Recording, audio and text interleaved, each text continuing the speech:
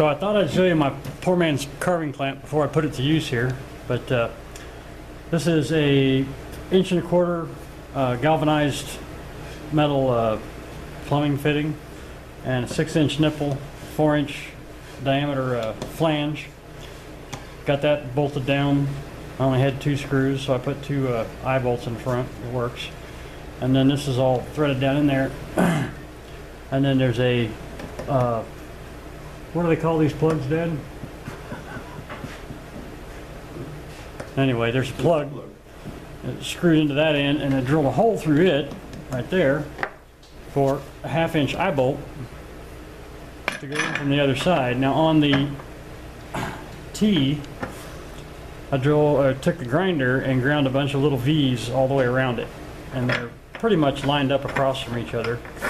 And what that does is let me put, this is my, uh, this is a, uh, actually it's an arbor out of an old, old lathe. I made, I made a lathe and this was the arbor out of it years ago. Um, and then this is a little nut with flange welded onto it.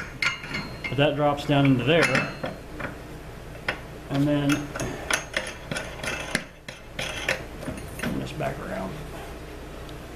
That goes on there, and you can tighten him up. And your carving goes right up on top of it.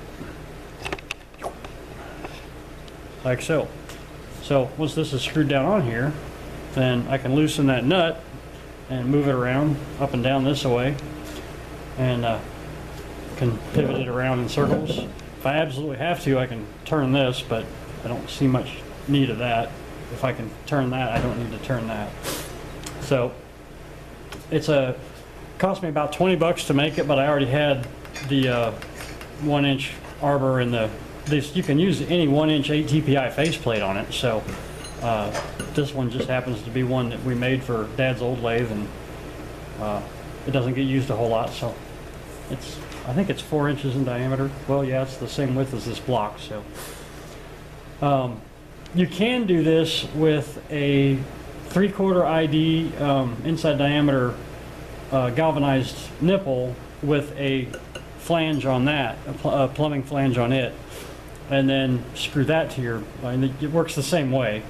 Uh, you won't be able to put uh, one-inch 8 TPI heads on it, but you can grab as many of the flanges as you have carvings and have one on each carving. So that's no big deal if you have more than one going. So thought I'd show you that before we get uh, into the next stage. I just made this thing like a week ago. Haven't actually got to use it yet, but we'll see how it works out, right? All right, off we.